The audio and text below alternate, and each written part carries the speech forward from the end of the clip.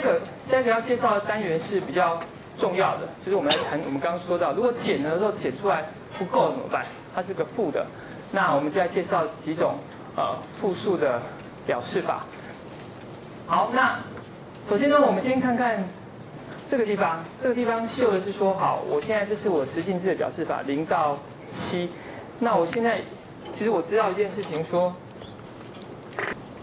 你知道最小就是零，但它最大的话可以到九十九，对不对？如果是十进制的话，十进制，呃，十进制，那它多它有多少种表示式？其实就是十乘上十嘛，就是一百种表示式。所以对二进制而言也是一样。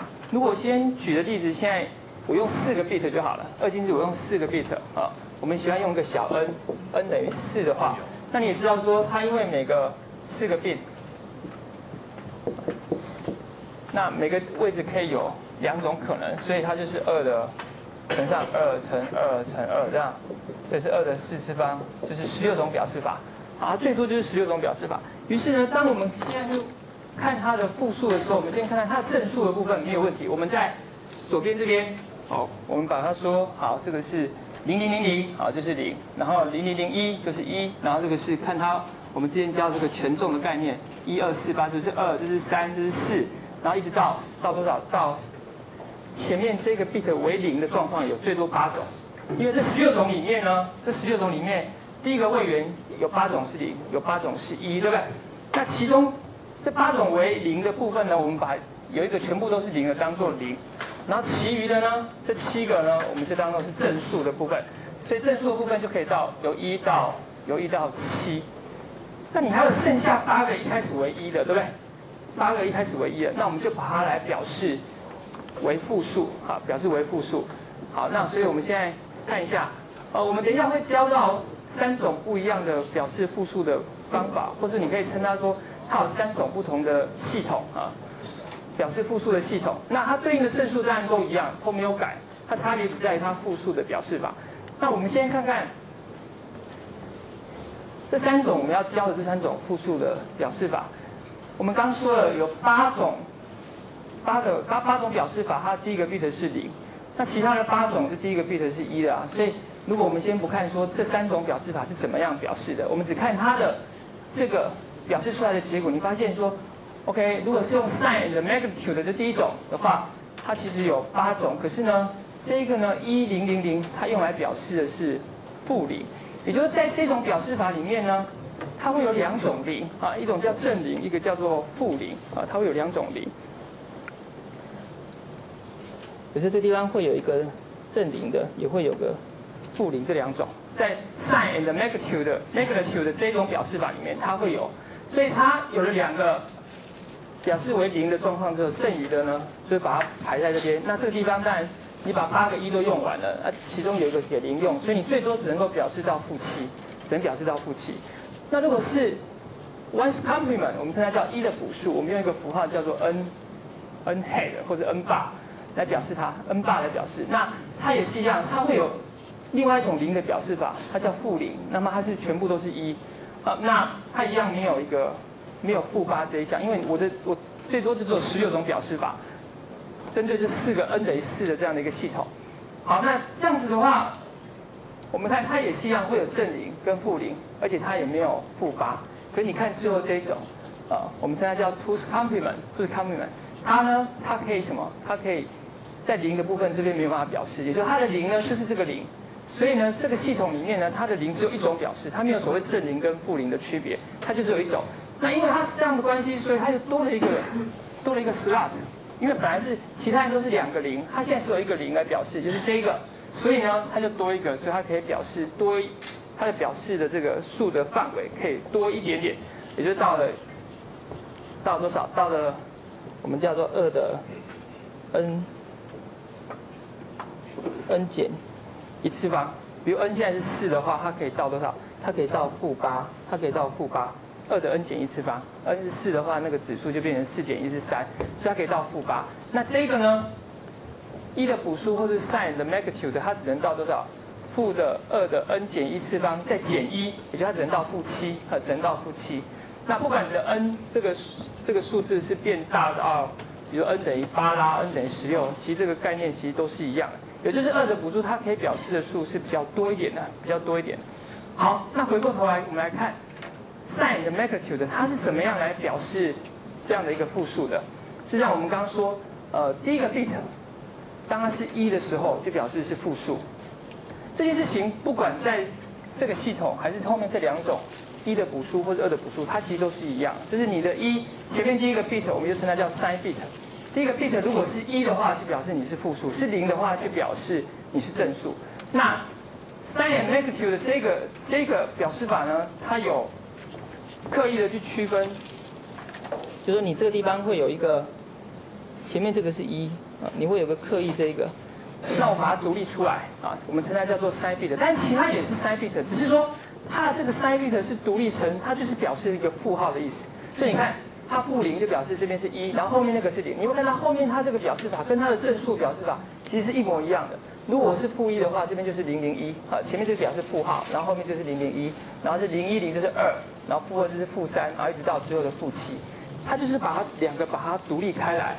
单独有一个 bit 表示它的符号，啊，后面的表示法会跟你的正数的部分一模一样，啊，一模一样。这个是 sin 的 magnitude。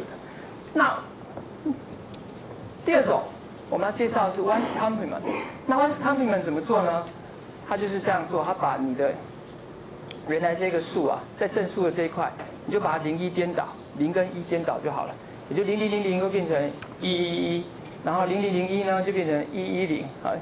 然后零零一零就变成一一零一，你可以自己比对，它的确就是把前面这个数所有的零跟一都互换。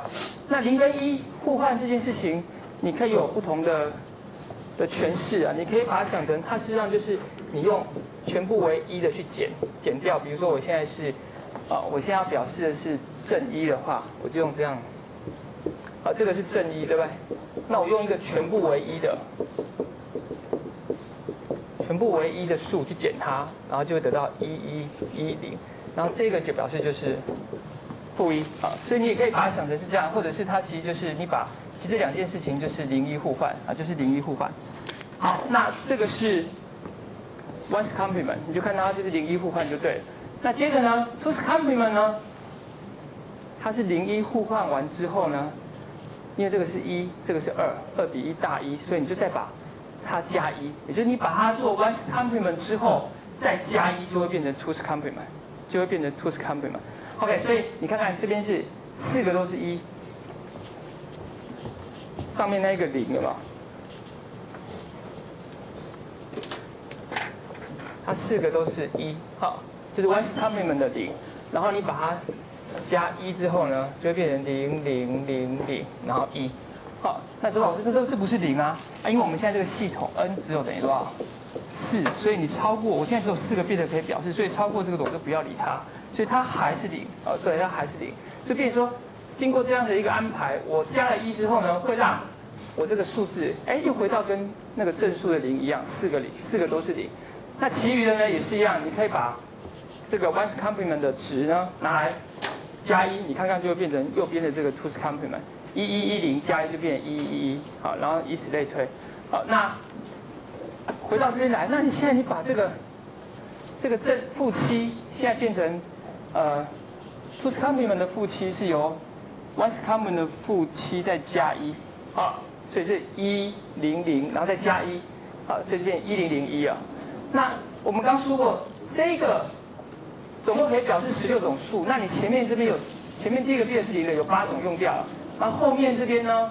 第一个 bit 是七一的有八种，可是我现在只用了七种，因为我从正数那边只可以表示到七嘛，所以我变成负号之后，我变成是它的 vice complement 再加一之后，也是只有最多只有七种，那是不是剩下一种？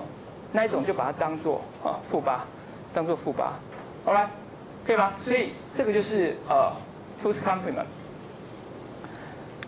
好，那所以我们总结一下，在我们介绍这三种的这个。表示复数的方式里面呢，第一种叫做 sin 的 magnitude，它就是有一个独立的 sin bit。OK，尽管它有个独立的 sin bit，但是我还是要特别强调，它在 ones complement 或 twos complement 的时候，那个 bit 如果是一，它依然代表的是负数。OK，只是这边特地这样讲的意思是说，它在硬体的设计上面，它要运算的时候，它会独立的把它 sign bit 跟它的这个 magnitude，magnitude 的意思就是大小，它的符号跟它的大小把它 separate 开，把它分开，它会独立这样做，所以它会有一个特殊的 sign bit，所以它在硬体的实现上面呢，就会相对比较困难一点，因为它要特别对那个 sign bit 做一个额外的处理。那其他两种啊，one complement 或 two complement 它其实是不用。它不用，它就可以让你混进去运算。就你把你的 s i b 的跟你的 magnitude 其实混在一起的，那去运算其实也不会出错。那这个在硬体的设计上会相对容易一点。好，所以呃，我们后来其实也大家很少用这个 sin magnitude 的这个这样的一个呃表示复数的方法。好，那接下来我们看啊，one's complement，one's complement 刚刚说呃，我们用 n 啊 n bar 来表示，n bar 来表示。那它等于什么呢？你要怎么得到一的补数呢？我们他现在写成说，他用二的 n 次方减一，再去减掉一个 n，这个 n 值就是你那个没有符号的那个数，就是你那等于是把它想成就是正的啦，就是正的。所以二 n 次方减一，以我们刚刚的例子，n 是四的话，二的 n 次方是多少？二的 n 次方就是二的四次方是十六，十六减一是不是十五？那十五是什么？十五就这个，这个就是十五对不对？全部都是一的，一二四八。好加起来就十五，你等于是用十五去减，它实际上等于什么？等于就是你把零一互换了。就我们刚刚这边讲，你用你可以想成把它去减它，或者把它想成是零一互换，啊，都是一样的。好，所以它的一的补数就是这样子而来的。那二的补数呢，是用 n n n star 来表示，所以它是跟它是差一，所以你把一一的补数这边再加一，啊，就是我们把零一互换之后再加一个一进来，然后就会变成是。二的补数，所以你看这边这个表示法跟上面这个表示法，其实它差了多少？这个跟这个，你看它中间是不是差了一个这一项？那这一项就是把它加进去了，啊，就把它加进去了。所以你想想看，如果我要，我们举个例子，比如说，呃，负三的话，你要知道它二的补数是多少，你可以用，呃，十六去减三，变十三的表示。那或者是十六，事实上你可以把它想成就是。零一互换之后再加一嘛，因为零一互换实际上就是十五嘛，啊，用十五去减，OK，所以就会得到这个二的补数。所以简单来看的话，你怎么得到一的补数？就直接把它的数，啊，比如七你要得到负七的话，你就把七的一的表，呃，正数七它的二进制表示是，你把它所有的 bit 都零一互换就好了，这就是一的补数。那再加一个一进去，OK，再加一个一进去就变成是二的补数，OK。可以吗？所以反过来，如果你看到一个他说他现在是二的补数表示是，你想知道它是负多少，那你的做法也是类似，你就可能要用相反的，你要先把它减一，然后再把它零一互换回去，然后看那个数是什么，你就知道哦，原来这个数就是呃某某正数的负数表示。